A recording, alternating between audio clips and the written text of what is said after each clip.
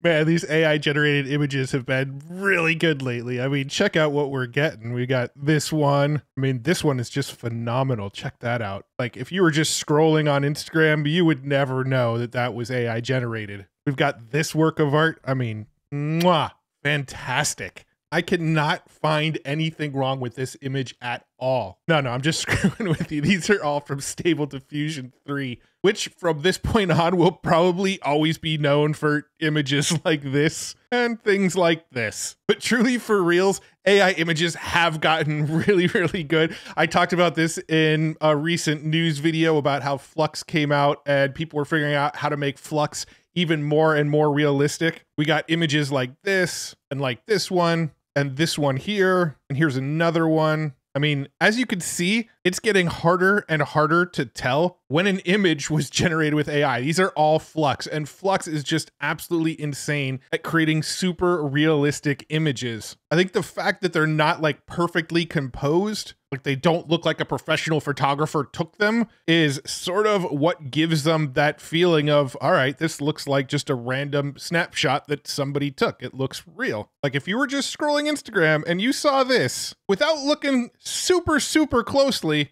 you probably wouldn't know that was ai i mean look how it's sort of off centered like someone taking a quick iphone picture would probably do. Now these are all really really good there are a few exceptions of when it starts to get really kind of wonky, and that's when you try to get more of the body in the shot, then the proportions start to look a little bit off. But even that often just takes a few re-rolls and you get something that looks decent. Now, I didn't generate any of these, by the way. These are all ones that I found on Reddit. But then people on X started taking this to another level and taking these realistic looking images and animating them and making them into realistic looking videos. You see a video like this and you know there's no sound to it but you just scroll past this. This does not look ai generated to me. Here's another one of an ai generated woman talking on stage and then the same like ponytail dude over on the right. And once again this was generated with flux. And then it looks like they used luma's dream machine to take that image and turn it into a video. Here's another video that i came across that looks like somebody at a ted talk and their paper actually has the date on it. Now i kept on coming across a lot of this stuff and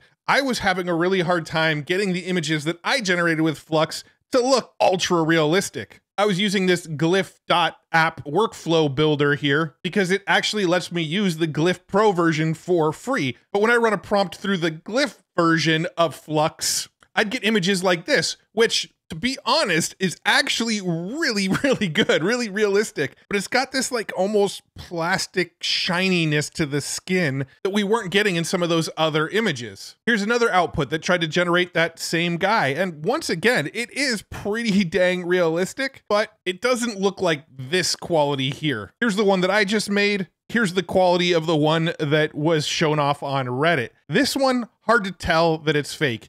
This one, I mean, just the colors of it look off. That skin's got like a little plasticky feel to it. This to me looks like an AI image. I don't know if I've just seen so many now that I'm better at spotting them, but there's definitely a quality difference between this and this. The one that I generated here came straight out of Glif with no extra filters or anything special running from it. It's just the prompt into Glif giving me this image. The ones in this example, on the other hand, they used what's called a LoRa. Now, a LoRa is a low rank adapter. You can think of it as almost like a filter or plugin on top of the normal image generation. So Flux is the foundational image model, which generates the image. The LoRa is like some extra sort of fine tuning information on top of that training. Here's how Perplexity explains LoRa. LoRa is used to train the model on specific concepts, styles, or characters, allowing for targeted improvements in image quality, style specificity,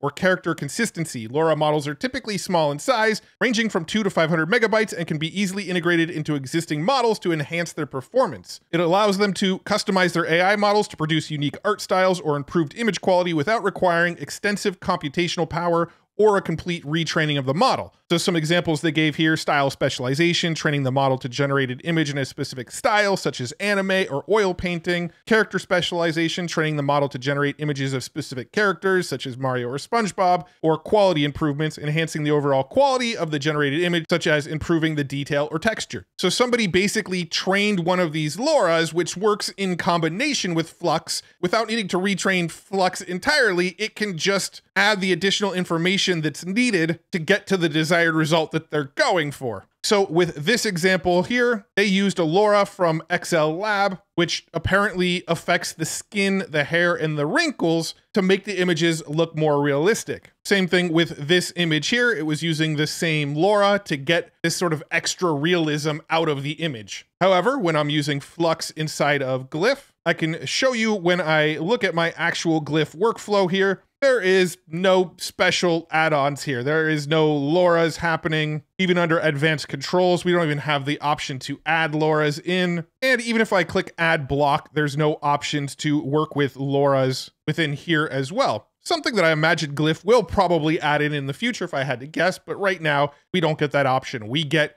what comes straight out of the Flux foundational model, without the benefit of using that extra realism LoRA that the people on Reddit were using. Now, one option to be able to use the LoRA's would be to use something like Comfy UI. You've probably seen a few of these Comfy UI workflows. They look like kind of spaghetti bowls with these lines going everywhere. They get complicated really, really quickly and are over the head of most people. I even struggle to wrap my head around them once they start to get more complex than, you know, three or four blocks. The other way to use this LoRA would be to use a site like Fal.ai. Now, this is a service similar to Replicate or like what you'd get on Hugging Face Spaces, where you can actually run AI models, but you're using their cloud to run them. You're using like the Fal AI cloud to run the inference, to run the processing on these AI images. Now, they have the standard Flux One Pro model here. So if you want to just use Flux Pro, you can use it, but we're going to run into those issues where if I want a super realistic image, it's not going to look as realistic as what we're seeing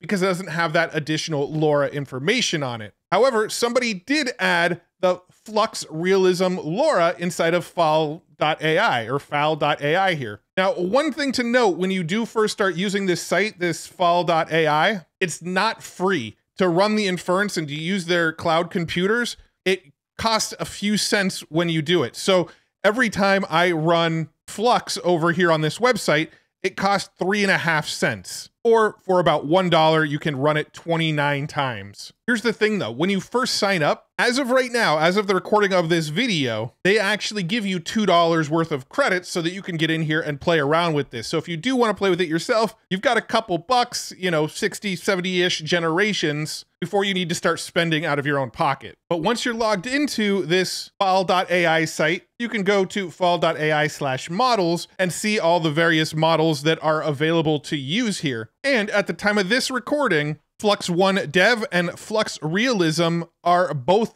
towards the top for you to test out and use right now. You can also use the Flux One Pro, which I believe is slightly more expensive. Yeah, so it's five cents per generation typically. But let's go ahead and use the Flux Realism LoRA here. I've already got the prompt plugged in here that gets us a similar image to the dude with the ponytail. And under additional settings, one thing I did notice is that you can leave the number of inference steps at 28 here, but if you leave the guidance scale at the default 3.5, it actually doesn't look that great. It starts to look shiny and plasticky and, and more unrealistic. I found the sweet spot to be about two. I would get in here and play with it. If you don't get an image that looks like what you want, you can play with this CFG scale here. But two was the sweet spot for the realism for me. I go higher than that and it starts to look a little bit more fake. So let's go ahead and change that and click run. And we get images like this, which are pretty dang realistic looking. The forehead is still a little bit shinier than I'd like, but it's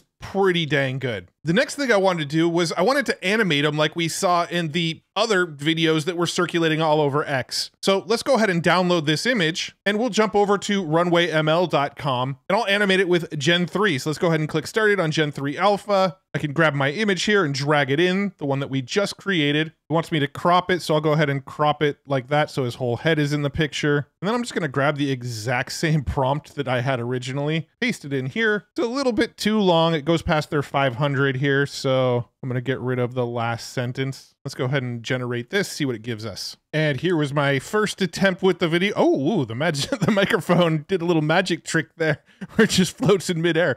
If that didn't just happen, it's actually pretty decent looking. I mean, it's a good video. Oh, oh right until that moment right there, I think it's a pretty solid video. And then after the floating microphone incident, it actually still looks pretty dang solid and realistic as well. I generated one more time because this first video that I made, I accidentally had it set as the last frame being this image. That's why the video sort of starts zoomed out and then moves all the way to finishing on the frame that we had here. That was a mistake. I meant to set it as the first frame.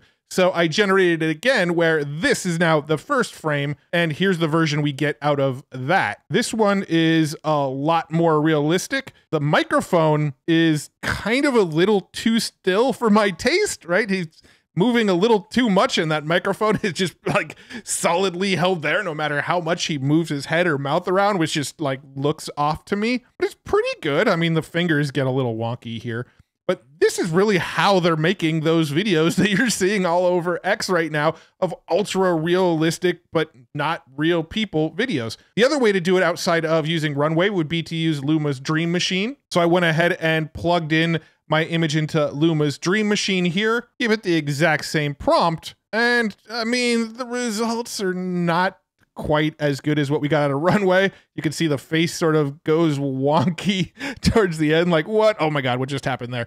So, not great. Runway to me did a lot better job. Unfortunately, the way AI is right now, I'm fairly certain that most of the videos that you're seeing on X where somebody took a ultra realistic AI generated human and made a video of that person speaking, it was probably a little cherry picked. They probably had to do a few re rolls like if I generated two or three more times, I bet one of the videos that came out of it would be just totally perfect and hard to tell that it was AI generated. But I wanted to make a quick, fun breakdown and see if I can recreate some of what I saw. There are ways to get it way more dialed in, right? If you want to use one of those comfy UI workflows, you can get way more dialed in using something like that.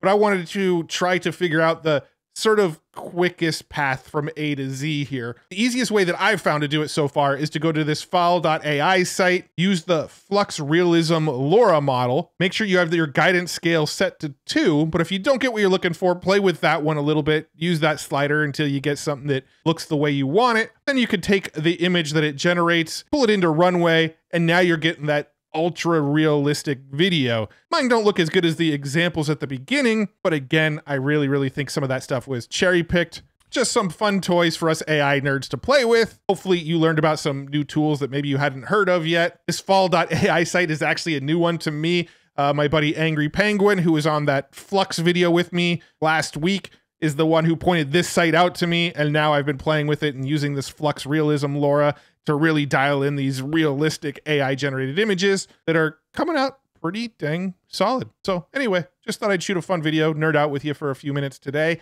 and show you what I've been playing around with. Hope you enjoyed it. If you did, like this video, subscribe to this channel. More videos like this will show up in your feed. And uh, that's it. Really appreciate you. See you in the next one. Bye bye.